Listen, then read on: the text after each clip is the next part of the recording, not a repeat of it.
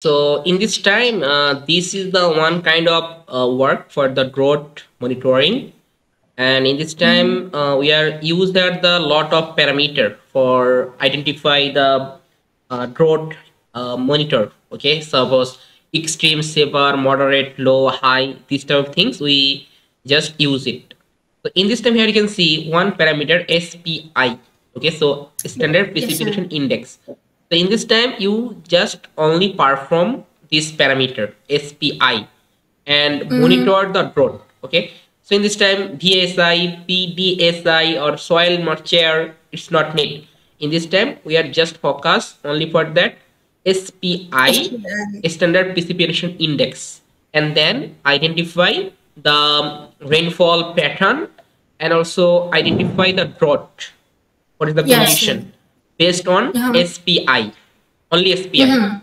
Okay. Um, uh, what can you recommend, sir? Is it better to add more indices or? yeah so in this time enough. when you want to make the more better uh, drought condition actually drought is different uh, other parameter also not only for the precipitation as well as soil moisture it's very uh, important factor for drought as well as vegetation health index or pdsi index this type of index are very important for the drought okay?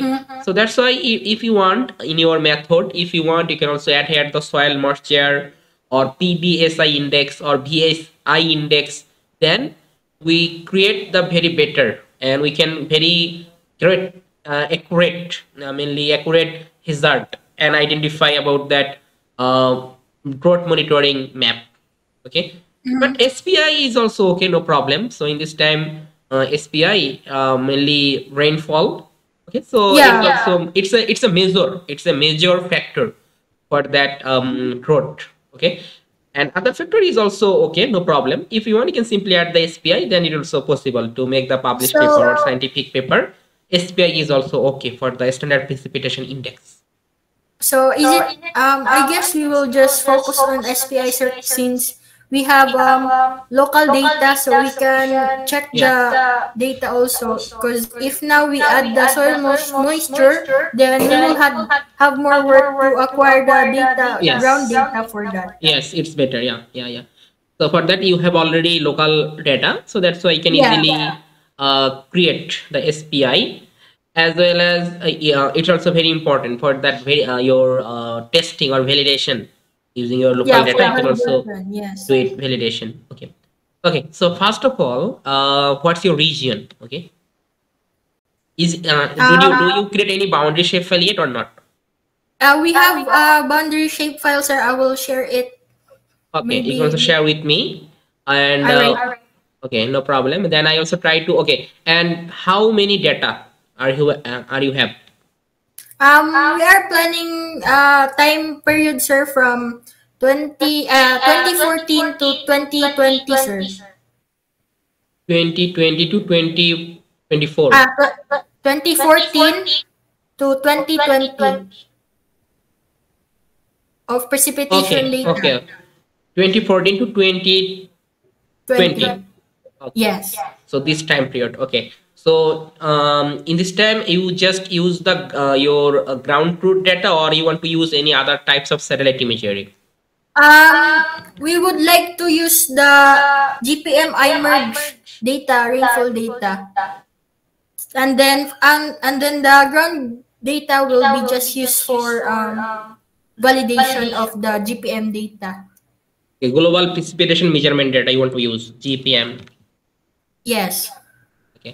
So gpm okay no problem gpm is also available in google earth engine platform G global precipitation measurement you can Yes. also use it okay, for that and calculate the spi okay but uh, this code i use the CHIRPS data Chirp, set yeah Yes. for that uh, global gpm dataset is also okay no problem okay and you Uh, can uh, easily uh, yeah Is CHIRPS data better than GPM, sir? What would you recommend? Okay mainly gpm uh, it's the global precipitation measurement data set. And this data set is mainly you can see this resolution is that uh, mainly 11132 meter. Okay, 11,000. And when you can see about the CHIRPS data or pentad data, CHIRPS pentad data, here we can got the data set is that 5000 Uh, that's why you, So, you, yeah. you mainly use CHIRPS data, sir. yeah so that's why in this time this resolution pixel uh, resolution uh, is high than global precipitation measurement okay so that's why i think CHIRPS dataset is better than gpm because gpm is the 11000 and CHIRPS Mhm. dataset only for the 5000 meter so then why we, we get the better result than gpm when so you use the CHIRPS you, would recommend to use CHIRPS data, sir? yes yes yes Okay, so yeah, we'll think about it also because on our paper, we on our paper uh, proposal, we suggested to use the GPM data instead of chirps. yes But Okay. So you try to use the CHIRPS data series better for that because CHIRPS data is the uh, high resolution than GPM.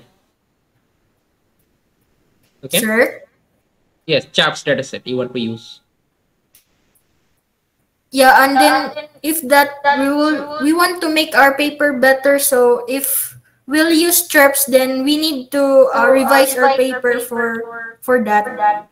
But since we want our results to be better, I think we'll think about that because I'm I'm working with my partner. We are two in this project. Okay, no problem. No problem. But for now, I guess we we just um, do chirps. Okay, no problem. And anytime you can change it, no problem because just simply uh, change the data set, then it will be work for the easily we can change it in Google Earth Engine platform. No problem. Okay, sir. Thank you so much. Okay, thank you. And you also send me your boundary, your study area. Then uh, in this time, uh, we also need about that another things. The another thing is that your short time period and long time period. Start time period.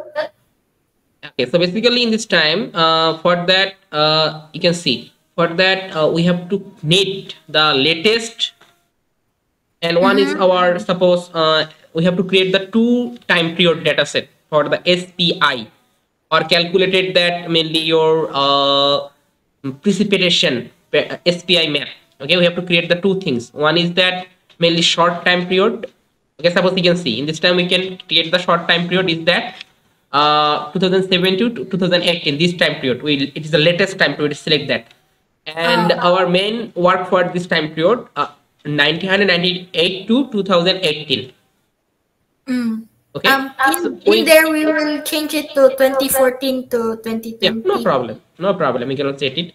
So you can send me your boundary as well as you can send me your time period short time period long time period. Then i try to make the spi map for your study area and further make the time series chart about the spi on other things we can do. Okay? Uh, I, I, I, um, am I supposed to send it now or later, sir? Okay you can send me in no problem. I will try to show the result first. Then if hmm. it then i also try to discuss. I discuss think later, sir, because I will. I need to ask it from my partner, pa. The okay no no problem. You talk and then we discuss. Okay, okay no problem. Okay. okay okay thank you. Okay. Okay thank you. You can send me then i will check it okay